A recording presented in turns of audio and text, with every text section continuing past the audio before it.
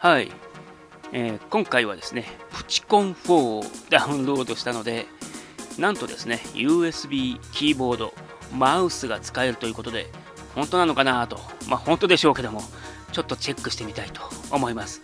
せっかくなんで、無線、無線でいけるのかというのを見ていきたいなと思いますけども、まあ何度かですね、フォートナイトかなんかでも、マウスが使えるのかとか、キーボードが使えるのかとかよく聞かれますのでまあ何でしょう。その辺も含めてちょっと少しだけ見ていきたいと思いますけどもご覧の通り完全に無線です。無線。あのー、まあこんな感じでですねマウスマウスポインターが出てきます。でここの辺にカーソルを合わせるとホイールもちゃんと動作しますね。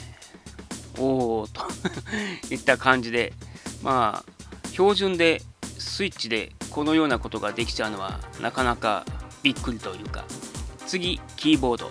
早速プログラミング、えー、10、えー、リスト。あれ？シンタックスエラーになっちゃった。ダメなのか。うん。普通のベーシックじゃないのかな。ラン。えー、あここは多分10とか書かないんでしたっけ？あー、どうだったかな。ここはただの命令だけかな。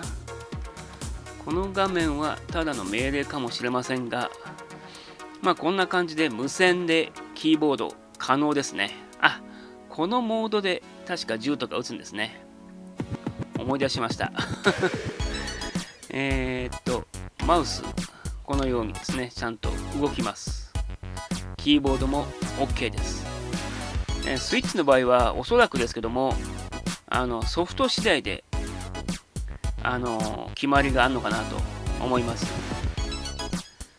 まあ、キーボードでできることってほとんど文字入力ぐらいしかないと思いますけどもあのよくフォートナイトかなんかで操作もしたいようなことらしいんですが操作は一切できませんねあくまでも文字入力マウスはですね、あの PSO2 出しちゃって、ファンタシースターオンライン2あたりでマウスを使うことができましたけども、ソフト次第でマウス対応していたりしなかったりとかいった感じがします。えー、っと、こういうのをですね、プチコンで作りたいですね。全然どういう仕組みになっているのかがさっぱり分かりません。まあこのプログラムを解析すればいいのかもしれませんがどうやったらこのようなかっちょいいシューティング作れるんだろうと。すごいなぁと。眺めて結局プログラムしないで遊んでるだけじゃんと。いった感じな毎回ですね。なんだかんだプチコンシリーズもついにバージョン4になりました。いやいや意外とファンは多いんですよねプチコン。DSi からの長い付き合いですけども一向にプログラムが完成しません。安定の飽き性というのか。うーん何でしょうね。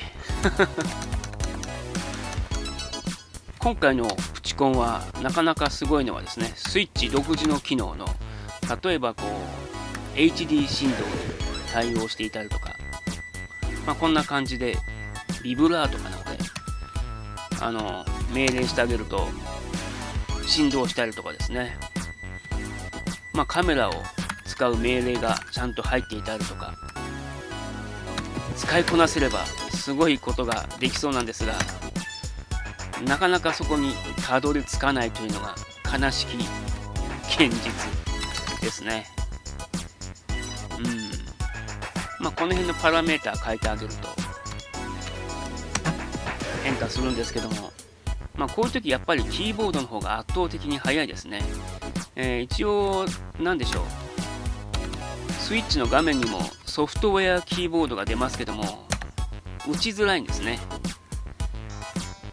ちなみに Wii U の時はチコンビッグがありましたけども、あれはちゃんとね、あの Wii U ゲームパッドがキーボード代わりになったりしましたんで、テレビ画面でカチャカチャ打ったりとかもできましたけども今回は画面が1つしかありませんのでいややっぱりキーボード必須かなと。Wii U の時も USB キーボード対応していましたけどもね、まあ、今回は確実に必要かなと。思います。まああとはプログラムを書くだけというか。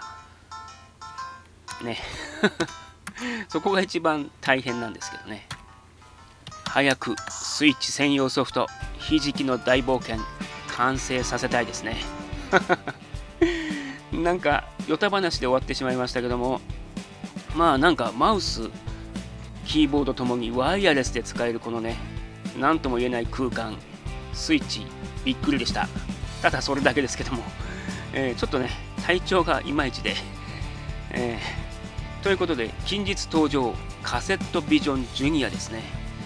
かなり古いタイプのゲームになりますがこれはこれでねかつてファミコンが登場前はシェアナンバーワンでした。ではまた。